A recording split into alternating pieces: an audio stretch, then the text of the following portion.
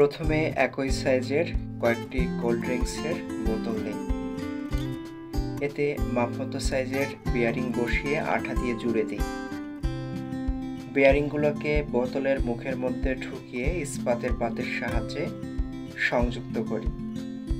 Bearing লাগানো দুটো বোতলের মুখের খোলা দিক এমনভাবে লাগাই, যেন তারা পরস্পর ঘুরতে পারে।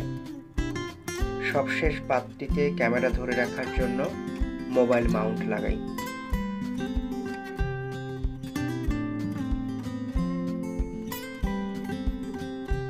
নিচে পিভিসি পাইপে মোটর লাগিয়ে three point seven volt lithium ion battery সংযোগের ব্যবস্থা করি। সুইচ এবং রিচার্জের পোর্ট লাগাই। পিভিসি হোল্ডিংয়ের নিচে ট্রাইপড মাউন্টের জন্য স্ক্রুনাটের ব্যবস্থা রাখি। কিন্তু এই প্রজেক্টটি পুরোপুরি সফল হয়নি।